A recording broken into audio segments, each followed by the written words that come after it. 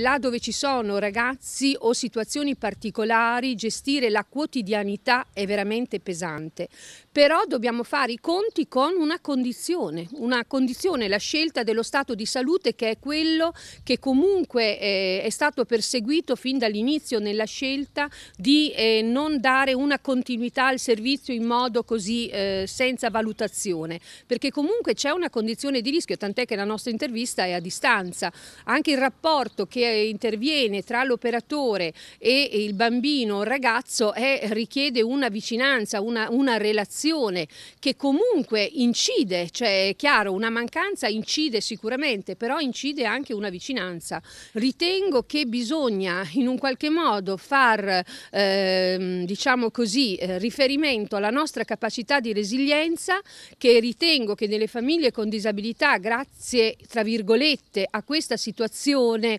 diciamo che la vita gli ha riservato, hanno sicuramente sviluppato delle capacità che molte persone cosiddette comuni non hanno